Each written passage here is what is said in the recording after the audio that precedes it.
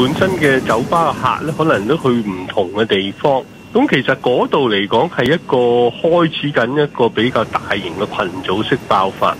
一定係要即係設法要盡早將嗰樣嘢切斷。咁而家佢嗰啲員工咧，其實就已經係譬如話你係嗰百幾個隔離咗啦，嗯但係嗰樣嘢唔夠啊，因為你仲有可能咧係仲有一啲嘅係以往去個酒吧其他客咧，佢可能再去其他酒吧或者去其他地方咧，嗰度係有機會令到個擴散繼續延續。嗯咁你希望政府可能有啲政策咧，就話係一啲嘅，即係話係喺呢段時間有一啲嘅類似嘅娛樂場所咧，其實就係可能真係要暫停營運十四日會比較安全啲。咁同埋其他嗰啲嘅一啲嘅誒聚集啊、食肆啊，同埋其他啲所有類型嘅聚集，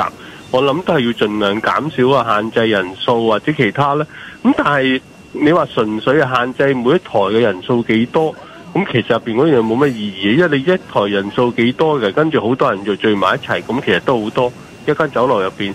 政府話或者世衛都講啦，你話係誒大家保持兩米喺其他地方，咁但係呢樣嘢唔單止喺個城市入邊不切實際，或者你做嘢地方不切實際，保持兩米冇用。點解呢？你喺個自己嘅做嘢地方，大家行嚟行去嘅時候。你如果係仍然口沫橫飛嘅，其實你會染污晒啲台，染污晒其他地方。嗯我哋未至於話成間廠入邊啊，或者成個工業大廈入邊就換晒個呢呢個防病毒個塗層。